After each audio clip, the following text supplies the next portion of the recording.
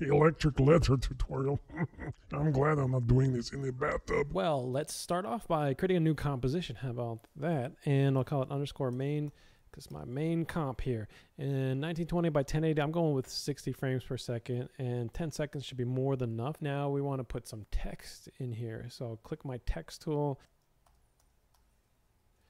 Let's do something like that and I can center this here in my align section and I'm to put this in the middle and that's pretty much it. Now I want to pre-compose this text layer so it's easily editable and I'll right click on it, go to pre-compose and I'll call this edit text and now what we want to do is go into effects and presets and let's find our turbulent displace so just start typing turbu and turbulent displace, so I'll drag and drop onto the layer.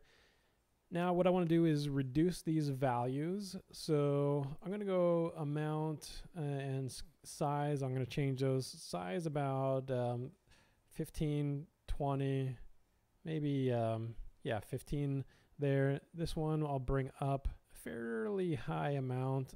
I think maybe that's a little too high. Something like that will work. This looks a little bit weird but we're going to clean it up in the next step and that's um, CC composite. So CC COM and you have CC composite and we could just actually drop this right in here underneath. I'm going to turn um, turn this from in front to exclusion and now you'll see this um, little inverting effect.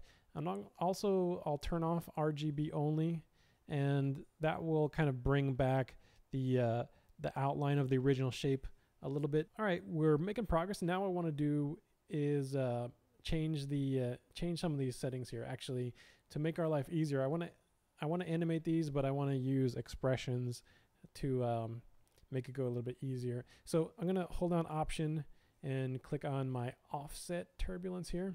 This is two values, so I'll press the um, sorry the left and right brackets, and then just arrow key backwards to go in between them. So I'm going to do for the x value time asterisk 1500, maybe 1400. Let's try 1400. And then you do a comma and then you set your y value. So we don't want it to move on the y value. So we'll just make that zero.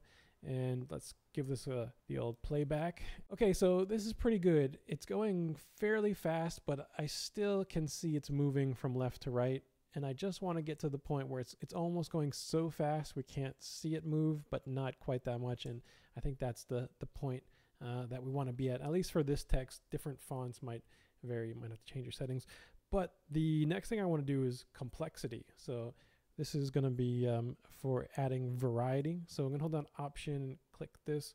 I'm going to use Wiggle. So you just start typing Wiggle, and then you'll get it uh, highlighted here. You can double click on it. Just start typing 4 comma 4 and click somewhere in an empty spot so we could accept that. You could kind of see already what it's doing. This gives us kind of this, a little bit of a, like a pulsating sparking effect as the complexity goes up. We get these finer little details. Now I want to uh, do one more thing just to get a little extra variety and that is evolution. So if I option click that, I will um, well, we got a wiggle here. Let's just copy that and Command C to copy, Command V to paste. I want larger numbers.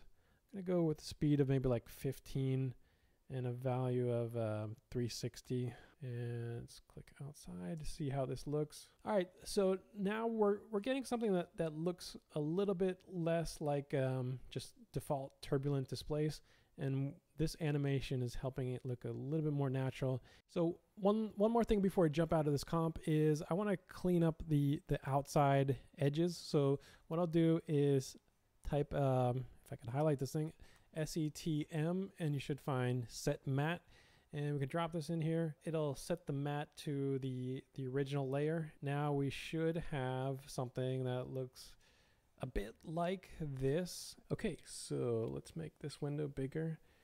You don't have to, but I just want to right click on here and go to pre-compose. And I want to make sure move all attributes is checked on. We'll call this and press OK. So what I want to do is add another turbulent displace. I've typed it in here already. Turbu, that's all you really need to type and you'll get it. Drop this onto the layer. So I'm going to bring the, the size as low as it can get and this is going to be a real subtle effect. So let's zoom in to 100% and you can see if I turn this on and off, you can't really see much here. The, the amount is going to be a factor. So let, let's bring this up here. This is, this is the kind of look that we're going for. So what I want to do is uh, animate the offset. Let's start off with that. Option, click the offset. For the offset, two values. So let's start off with the brackets. Time times 100, comma. We don't want anything for the y, so that y will make 0. And let's just see. Okay, yeah, I like that. Let's mess with the evolution a bit here. So I'll go with option, click that. And for this, I'll do time times maybe 500 and see how that looks.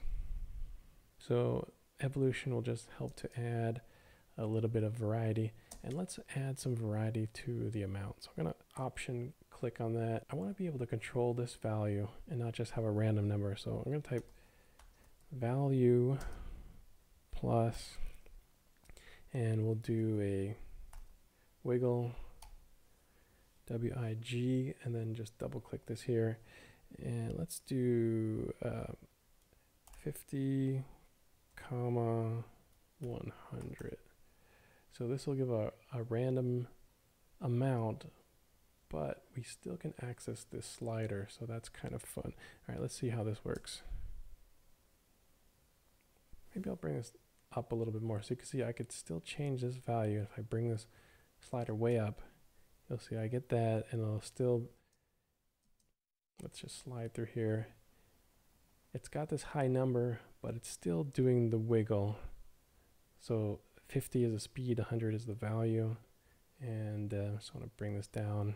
So we got randomness and we can control it a bit. This is giving us the type of look. It's got some really fast it's moving at the speed of electricity but we could still see kind of this movement from left to right. Let's break this up a little bit more by adding a CC vector blur and I'll drop this onto my layer. I could even just drop it here. I could have even double clicked on it, but I want to change a few settings. I'm going to set this to about 150, 160, 140-ish. Let's go with 140. This is going to look better, trust me. I'm going to bring this up a bit here. And map softness, I want this probably about zero or very close to it. And I'm going to go from this lightness, I'm to switch to the red channel. And if I zoom in here, you could see when I turn this off, and we're just getting a little bit more distortion, helping to make things look more natural. Let's go to CC Composite. I'm going to drop this in. This is, well, let's turn this off first. And this is going to go off screen, I know already, because it's a huge list. Uh, but I want to change the composite original from in front to silhouette alpha and hopefully we've got enough room. All right, right at the bottom of the list, well, of the screen here is silhouette alpha. And now we could bring this back to size and we can play this to see how it's looking. I could probably just render about a second and let it loop. So that's the look that we're getting if I just do a check on the transparency by clicking on this little checkerboard icon, I can see that this is actually a pretty subtle effect. It, it's almost completely transparent for the most part. It looks okay on a black background, but uh, we could boost up this transparency. Let's collapse this here.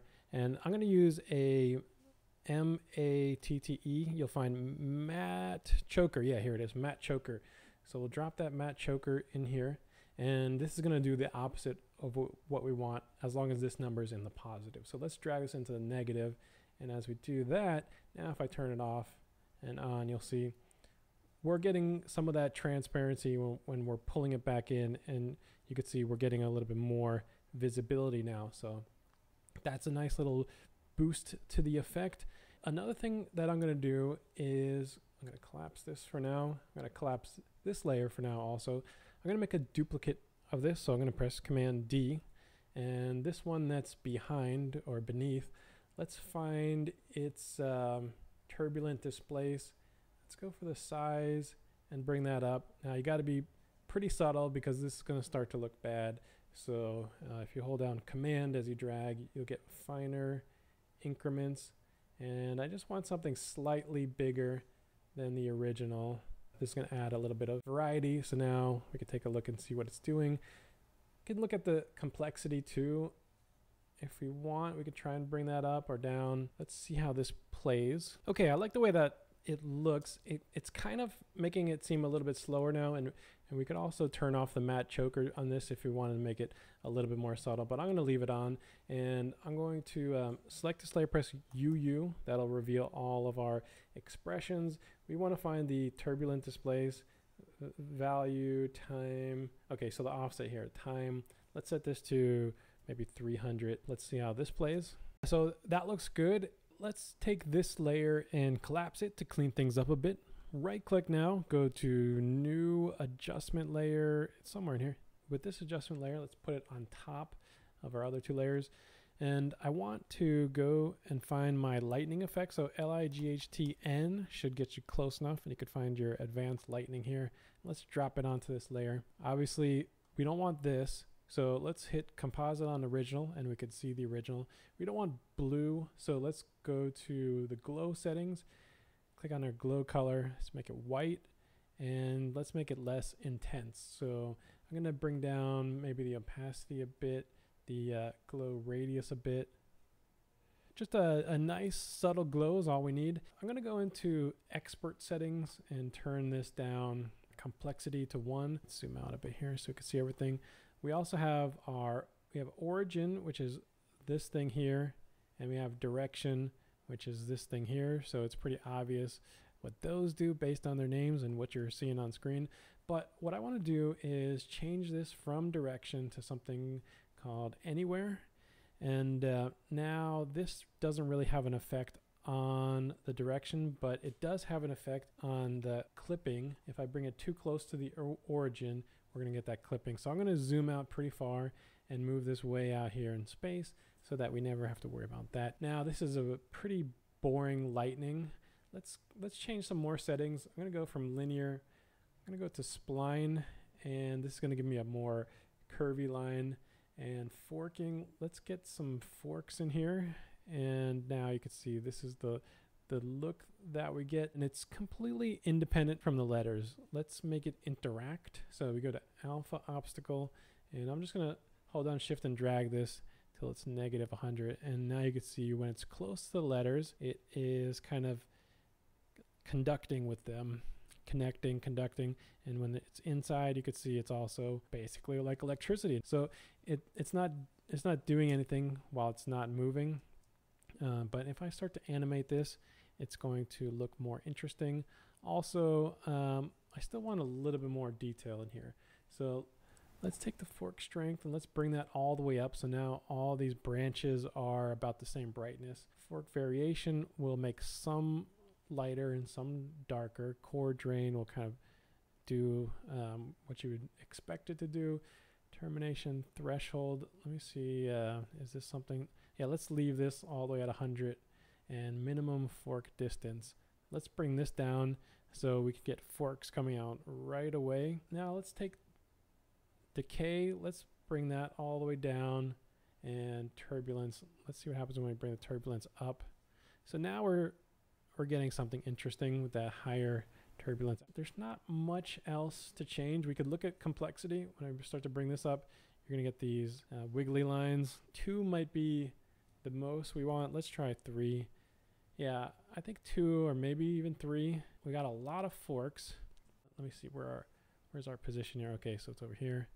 So what I would like would be to have it over on this side and then shoot over on this side really fast and kind of switch between the two so we get some variation. Go to our origin, option click. I want to add a wiggle for my X value. I'm just going to type in value for my Y value. But since we're doing it that way, we need to use indexes. I'll show you what that is in a second. So I'll do my left bracket, right bracket, go in between and start typing wig and I can hit tab to accept that. This I'll go with 4 comma, let's try 10, 10,000. So it's starting in the middle and now it can move to the left 5000 and the right 5000 so that's somewhere way off the screen here and uh, that's what I want.